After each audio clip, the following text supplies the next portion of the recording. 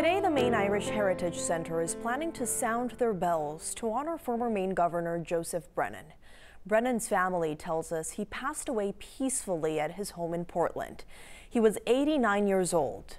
Brennan was the son of Irish immigrants and grew up in Portland.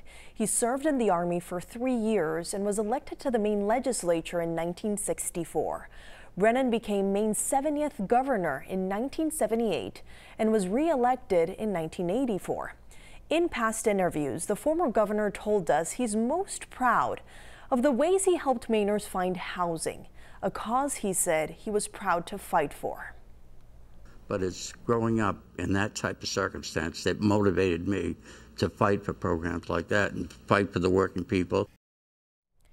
Brennan would later serve in Congress, winning elections in 1986 and 1988. Many leaders have shared kind words about him and the ways he touched their lives. You can find full statements on our News Center Maine website and mobile app.